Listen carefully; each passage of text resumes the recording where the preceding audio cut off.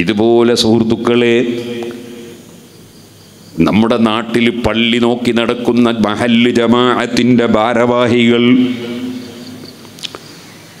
ഭാരവാഹി എന്ന് പറഞ്ഞാൽ അതിന്റെ മാന എന്താ ഭാരം വഹിച്ചവർ ഭാരവാഹി ഭാരം വെയിറ്റ് താങ്ങുന്നവർ. ഒരു മഹല്ല് ജമാഅത്ത് എന്ന് പറഞ്ഞാൽ അവിടെയുള്ള ദീനീ പ്രവർത്തനത്തിന്റെ മുഴുവൻ വെയിറ്റും ഭാരവും താങ്ങുന്നവരാണ് ഭാരവാഹികൾ മഹല്ല് ഭാരവാഹികൾ. അവരോട് നമുക്ക് ആദരവും സ്നേഹവും വേണം. നമ്മുടെ നാട്ടിലെ ജമാഅത്തും ബാങ്കും ഓതുവും അതുപോലെ മദ്രസയും പള്ളിയും ഒക്കെ അവരുടെ പരിശ്രമം കൊണ്ട് നടക്കുകയാണ്. അവർ അഞ്ച് പൈസ ശമ്പളം വാങ്ങുന്നില്ല. അതേ സമയത്ത് പഠിപ്പിക്കുന്ന ഉസ്താദിന് ശമ്പളം ഉണ്ടാവും. പള്ളി കമ്മിറ്റീന്റെ പ്രസിഡന്റിന് ഇവിടെയൊക്കെ ശമ്പളം ഉണ്ടോ എന്ന് എനിക്കറിയില്ല. അങ്ങോട്ടൊന്നുമില്ല ഉണ്ടാവില്ല. ഒരു അഞ്ച് പൈസ ശമ്പളം ഉണ്ടാവില്ല. അദ്ദേഹം ഇങ്ങനെ ബേജാറായി നടക്കുക. ഈ പള്ളിയും മഹലൊക്കെ അങ്ങനെ കൊണ്ടുപോകും. സെക്രട്ടറി അതിനേക്കാളും ബേജാറായി പായാണ് അപ്പോൾ അവരോട് നമുക്ക് ബഹുമാനം വേണം. അവരോട് ആദരവ് വേണം. ചിലപ്പോൾ നമ്മളൊരു സംഘടനയുടെ പ്രവർത്തകരാണ്.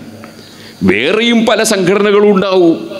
നമ്മൾ മാത്രം സ്വർഗത്തിൽ ബാക്കിയുള്ളവരൊക്കെ നരകത്തിലുള്ള വിശ്വാസമൊന്നും നമുക്കില്ല അങ്ങോട്ട് വിശ്വസിക്കാനും പാടില്ല. മോമിനിയങ്ങൾ മുത്തക്കൈങ്ങൾക്കൊക്കെ സ്വർഗം എന്നാ കുറുകാനുള്ള പറഞ്ഞ്. നമ്മളെ സംഘടനയെ തന്നെ ഉണ്ട്. പക്ഷേ ആൾ വളരെ മോശക്കാരനാണെങ്കിൽ സ്വർഗം കിട്ടുമോ ഇല്ല.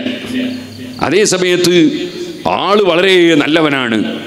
അതേ സമയത്ത് അദ്ദേഹം സുന്നത്ത് ജമാഅത്തിൽ ഉറച്ച് വിശ്വസിക്കുന്ന ആളാണ്. അദ്ദേഹം വേറൊരു സംഘടനയിലാണ്. അദ്ദേഹം നരകത്തിലാണെന്ന് വിധിക്കാൻ പറ്റുമോ? അതുമില്ല. അങ്ങനത്തെ സംഘടനാ സങ്കുചിതത്വം നമുക്കുണ്ടാകാൻ പാടില്ല.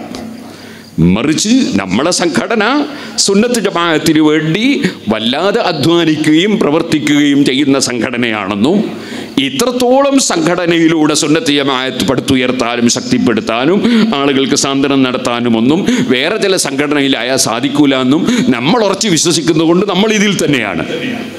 അത് നമ്മൾ ഉറച്ച് വിശ്വസിക്കുന്നു. അതുകൊണ്ട് നമ്മൾ അതിന്റെ പ്രവർത്തനം നടത്തുന്നു. എന്നല്ലാതെ ബാക്കിയുള്ളവരൊക്കെ നരകത്തിലാണ് എന്നതും നമ്മൾ പറയൂല.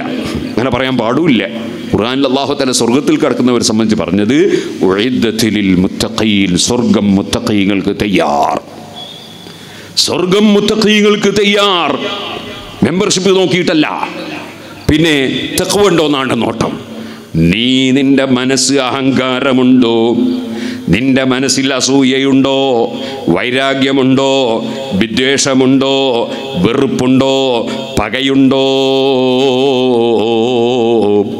നിനക്കെങ്ങനെ സ്വർഗം ലഭിക്കും?